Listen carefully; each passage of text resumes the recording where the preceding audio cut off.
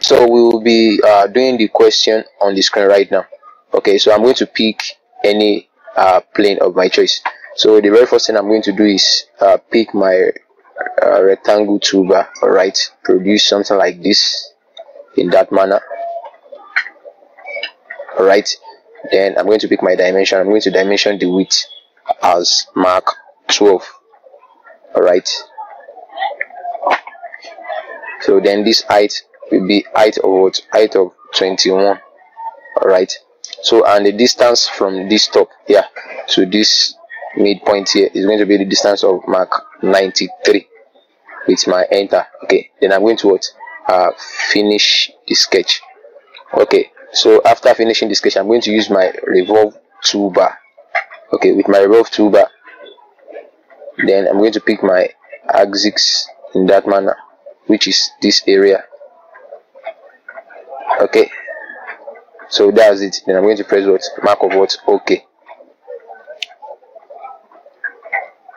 As you can see on the screen right there. Okay. So i'm going to uh, pick that plane.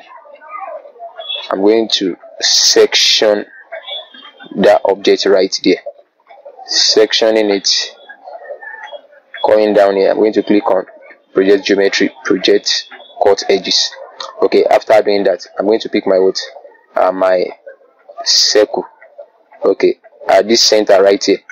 Okay i'm creating a circle of diameter 96 all right then i'm going to pick my line from this junction towards this area mark of what? Mark of six. Enter. Then i'm just going to extend this downward at any any length. Okay at any length okay after doing that the next procedure is to apply the principle of what? Tangency but before that i'm going to pick my what? Hidden line. Then my line. I'm just going to produce this horizontal line in this manner. Then the distance of this horizontal line from the center of the circle towards the top here is going to be mark of 33 which is that. Okay after that so to get the radius of 18 which is here what do we do? 48 minus 18 that is what? 30 so coming to my arc right here center point arc still maintaining the circle. I mean the hidden details stuff. Coming here i'm going to pick radius what? 30 draw the first arc right there. Okay? So i'm going to pick a straight line first of all right here. Draw a straight line right here. Then dimension the distance between this mark and this straight line to be mark of what? 48 enter okay picking my arc then from this midpoint right here towards this area i'm going to pick arc of what? 48 plus 18 enter to draw out my corresponding arc which is so i'm having a junction which is this right here. Okay so from that junction erasing the hidden line details with my arc coming to this junction as you can see right there i am producing an arc of radius what? radius 18 enter then i what? I draw as you can see on the screen. Okay then from this same center down here is what? 48 arc of 48 i what? I draw as you can see. So the next thing for me is to what? To actually use my what? My trim and my what? And my constraints all right so i'm going to trim this area off. I'm trimming this area off this area off this area off then this area off and also this area off so with my constraint i'm going to what? Ensure i lock it up.